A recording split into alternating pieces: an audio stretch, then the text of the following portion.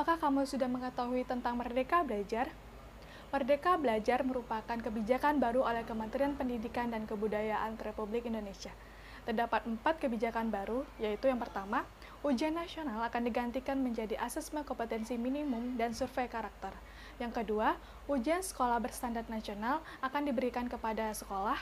Yang ketiga, rencana pelaksanaan pembelajaran akan lebih disederhanakan. Yang keempat, dalam penerimaan peserta didik baru, sistem zonasi akan diperluas. Kita sebagai manusia memiliki bakat, minat, dan karakter yang berbeda-beda.